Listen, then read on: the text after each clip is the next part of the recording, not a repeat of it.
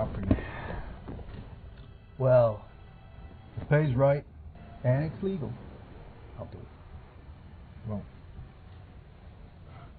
it ain't strictly legal. It pays right. I'll do it. Well, it's uh, it's kind of in reference to that gentleman and my wife. The more I think about it, the, more irritated I get. Yeah? Well, how irritated are you?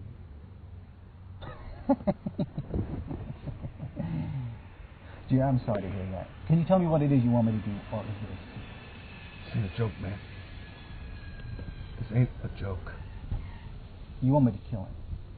I didn't say that. Well, well, well, what? what do you, ten thousand dollars? I'll give you ten thousand dollars. I'm supposed to do a murder. Two murders.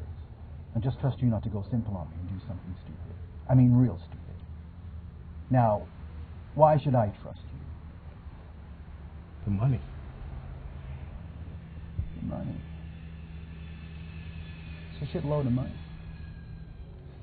Make sure those bodies are not found.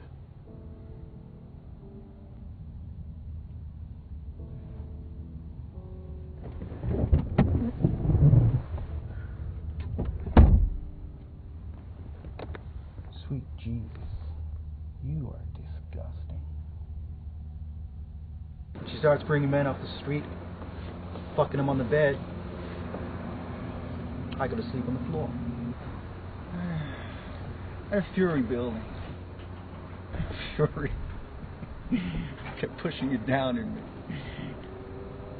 take away my balls, you ate my heart. See the fat cow through the open door. She spread out on the bed. Was my moment. I came to that bed and I felt full of power. And I grabbed her fat face. I saw her eyes go scared. I felt full for the first time. Full up with power.